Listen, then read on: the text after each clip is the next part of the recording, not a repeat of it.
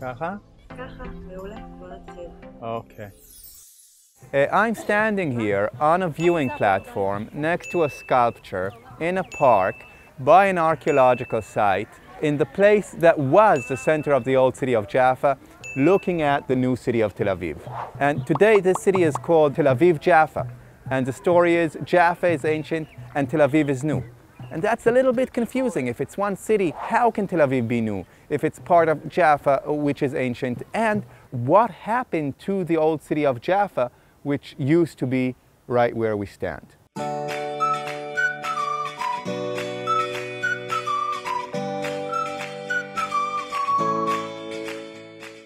So let's start at the beginning. And the beginning really is those rocks uh, out there in the sea, sandstone rocks in the sea, which make a rare natural harbor along the sandy coast of this country. Uh, and that's the reason really that the city grew here. Uh, already thousands of years ago, boats were stopping and trading here, and Jaffa has been uh, a port for 5,000 years, a city for more than 4,000 years. It's been settled by Canaanites, ancient Egyptians, Philistines, Syrians, Phoenicians, Greeks, Judeans, Romans, the Byzantine Empire, Umayyads, Fatimids, Crusaders, Mamelukes, Ottomans. For the last over 1,000 years, it's been primarily an Arabic-speaking city. And in 1909, when they say Tel Aviv was founded, it had been part of the Ottoman Empire for some 400 years. And this hill that we're standing on is a tell. That is a natural hill made higher by thousands of years of human construction, destruction, reconstruction. And that tell is the same tell as in Tel Aviv. The tell refers to ancient ruins and Aviv to spring and renewal. Tel Aviv originally was a translation of uh, Theodor Herzl's novel Alt Neuland, Old New Land or Ancient New Land, which is a utopian novel about the future Jewish state. And that was the inspiration for those uh, European Jewish immigrants who founded Tel Aviv in 1909, coming here to start in this ancient place something from nothing.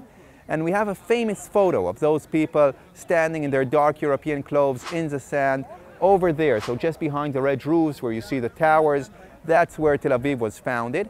But if you took that same photo at a slightly different angle, you would see those red roofs. In Neve Tzedek, a Jewish neighborhood of Jaffa founded 20 years earlier, you would see uh, beyond Neve Tzedek the Jaffa train station, one of the first train stations in the Middle East, which had been running for almost 20 years in 1909. You'd see along the coast a bustling and fast-growing, mostly Muslim neighborhood of Manshia. You'd see here, uh, on this hill, the dense center of the old city of Jaffa, the Kasbah.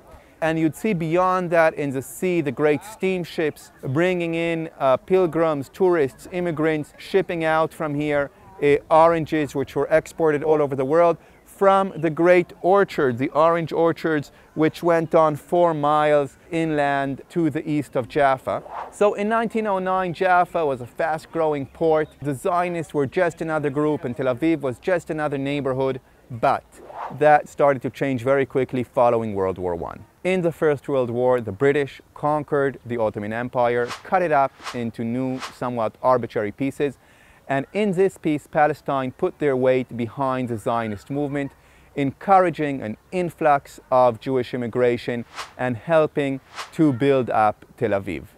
So at the end of World War I, there was less than 4,000 people in Tel Aviv. In 1925, there was 35,000, and by 1936, 120,000 people. Tel Aviv had outgrown Jaffa, had become the biggest city in this country. And in 1934, the British actually made it officially a separate city. And as Tel Aviv was growing, really realizing this uh, vision of Herzl's to build here a European-like city, uh, here in Jaffa, in Jerusalem, all over this country, uh, people were becoming more and more concerned about the Zionist movement, about the plans to make here a Jewish state, about what that would mean to the non-Jewish population of this country. There was some attack, some violence against the new immigrants already in 1921, again in 1929, and in 1936 there we already had an organized political movement and we had what the British called the Arab Revolt in Palestine, what Palestinians called the first Palestinian uprising. The Palestinian National Movement basically is a coalition of all those other people in this country who are not Jewish, who in 1936 were still the vast majority of the population here, calling a national strike, shutting down the ports, saying no more Jewish immigration. And the British tried to crush that revolt with huge military force, and they came in here to the old city and they blew up 237 houses to make ways uh, for their armored vehicles to come through here. The fighting went on for some three years, uh, from 36 to 39, and in those years, pretty much all the Palestinian leadership was killed, imprisoned, or exiled, and the Palestinian militias destroyed. So Palestinians had very little organization at the end of World War II. Uh, or soon after the end of World War II, when the British decided to leave this country and the war began. The British began leaving at the end of 1947 and the fighting began all over this country and here between Jaffa and Tel Aviv. There was shooting both ways, bombing both ways, but very soon it turned out the Zionists uh, were just much better armed and organized than Palestinians were. Uh, Palestinian civilians of Jaffa began to flee. There were 80,000 Palestinians in Jaffa uh, before the war, and more than half of them were gone by April 25th when one of the militias started a huge bombardment of Jaffa, of this hill. They say over 20 tons of explosive in three days. Meanwhile, the Manshia neighborhood conquered and depopulated along the coast. And just after that, another Zionist militia conquering uh, the countryside, uh, the Palestinian villages and depopulating them, leaving Jaffa absolutely isolated with an exit only to the sea cut off from roads, from water, from electricity. There was 20,000, only 20,000 of 80,000 Palestinians left here uh, at the end of the bombardment in the beginning of May, and those people fled desperately in boats uh, to Beirut and to Gaza. So there was less than 4,000 Palestinians left here on May 13th when Jaffa officially surrendered. Those people were pushed uh, south of here into the Ajami neighborhood, which was fenced off and put under martial law. On May 13, 1948, Jaffa officially surrendered, and the next day, May 14th, in Tel Aviv, in the very same place uh, where Tel Aviv had been founded 39 years earlier, the State of Israel was officially declared. The State of Israel first held Jaffa under martial law, but soon officially annexed it to the city of Tel Aviv. The neighborhood of Manshia along the coast was bulldozed away almost entirely. They left us uh, the Hassanbek Mosque at the north end of the neighborhood, sort of lonely looking among parking lots and office buildings. And in the Charles Clore Park, which is actually the piled ruins of Manshia, uh, they left one house, which they made a museum to the militia which conquered Manshia.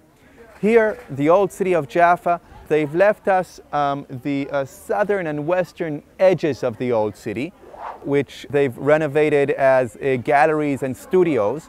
But the center of the city, more than two thirds of it, where we're standing here, was bulldozed away to make a road, a plaza, and this park that we're standing on. They bulldozed away the city. They left us here on display some archaeology, an Egyptian fort and a Canaanite temple, both over 3,000 years old, which means they bulldozed away the city and left the Tel, uh, the ancient ruins.